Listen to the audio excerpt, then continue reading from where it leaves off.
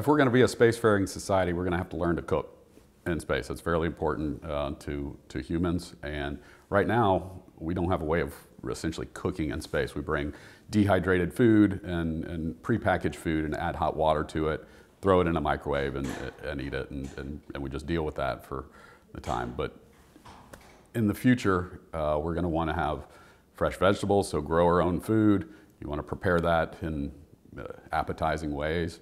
Um, and so um, cookies are certainly appetizing, um, maybe not healthy, but uh, they will be a very, uh, I think it's a welcome uh, addition to an astronaut's menu.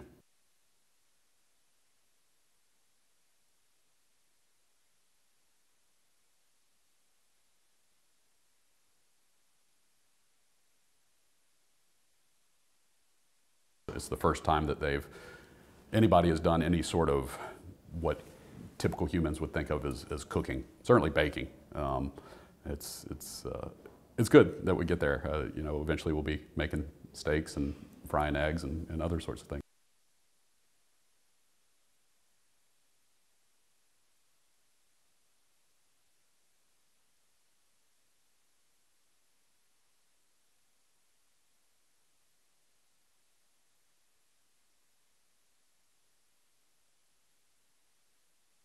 We're going to travel many, many months, you know, six months, 12 months, 18 months to go to Mars.